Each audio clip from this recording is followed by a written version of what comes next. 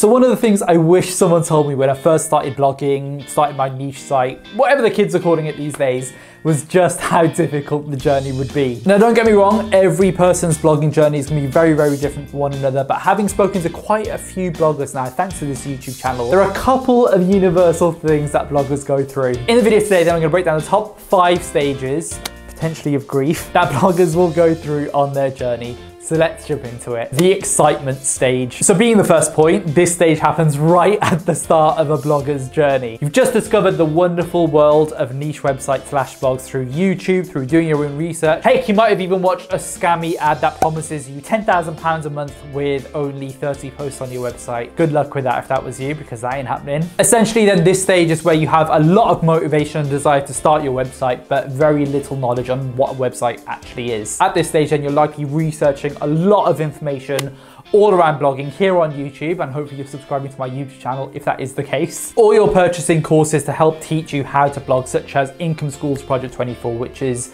basically the course that I use and it's what I recommend. Affiliate link in the description box if you are interested. At this stage then you choose your niche, you initially set up your website and more than anything else you're going to be focused on writing the content yourself. In fact, I found that in the first couple of months so at this stage I tended to write around about 50 to 60 posts basically. So you literally hands are glued to the keyboard and just typing like a madman at the moment. The nothing is happening stage. So I'm gonna say that this stage usually lasts around about month four to month eight slash one year if you're a little bit unlucky. Excitement dies. So at this stage, the effort's there, the knowledge of your niche is increasing dramatically. You're writing a lot of content. Maybe you're averaging 10 brand new posts per month that you're writing yourself. So all that stuff, all that hard work is going into it, but the results aren't coming just yet. Now, sadly, this stage also ties in with Google's own ghost town phase, whereby they don't trust the brand new website for a couple of months before indexing their content. As such, it's literally gonna be a case of just putting in a ton of work and not getting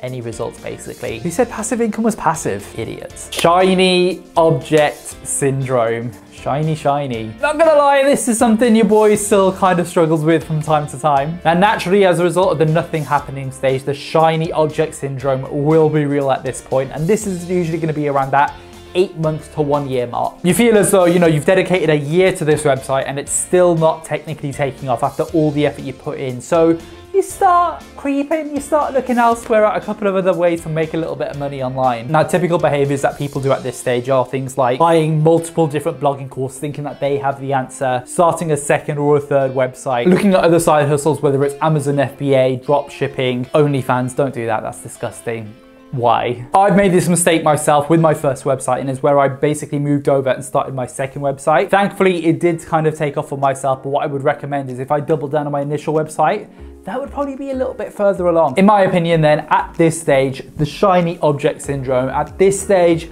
this is basically where most bloggers tend to fall off with their websites. The double down stage. Now, thankfully, if you're able to make it through the shiny object syndrome, you'll be rewarded with real learnings built up in the double down stage. You'll actually start noticing some of the mistakes that you made earlier on in your blogging journey. And you'll actually start getting better at some of the things that are vital to the success in blogging, whether it's keyword research, writing posts, all those kinds of things. And you'll actually get to the point whereby you look back at earlier posts that you'd written, earlier keyword research that you'd done and think, why the hell did I write this post? It's never gonna rank, not a chance in hell. You'll basically start figuring out what works and what doesn't work and hopefully you'll get a new lease of life into your blog. Do a fresh batch of content, fresh batch of keyword research just to really double down on this brand new effort. The early results stage. Finally, the results start coming in. This tends to happen then at a year to a year and a half in your blogging journey. Your traffic starts to gradually increase month on month and you may even get lucky enough to have a hockey stick level of growth. You start seeing your posts rank on Google when you search for random search terms and most importantly you actually start to earn a little bit of an income every single month that you can reinvest then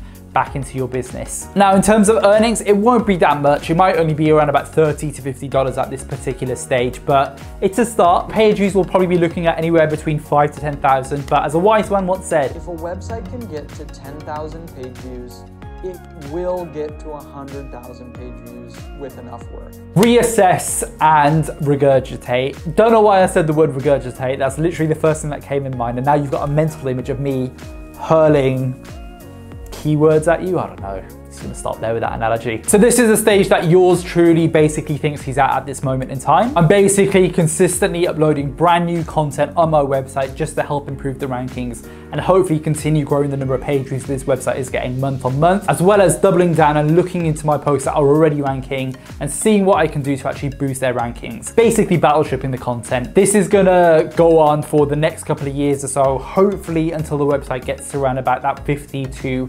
100,000 page views per month. So took a long old road to get here, but hopefully they'll continue. Now, I still consider myself very much a beginner when it comes to the world of blogging and niche websites and all those different kinds of things. I'm not gonna lie and say I'm some sort of super massive professional that can help with everything, but that's the amount of effort that it took to even get to this stage. As you can tell, not a quick journey by any stretch of the imagination. And the only real way I see you having a blog that's, you know, massively successful in your first year, maybe hitting that 50 to 100,000 page views per year is either one, you're ridiculously lucky with your keyword research, or number two, you've got a large amount of money to invest in your blog in the first instance, get the best keyword research out there possible, get the best number of posts written, and just basically have a huge impact as soon as you get going. Blogging family. So hopefully you enjoyed this video today. Let me know what stage you're basically at on the back of that video, and if there's any stage that you think I missed out. As always though, if you're interested in more videos around blogging, personal development, side hustles, any of those kinds of things,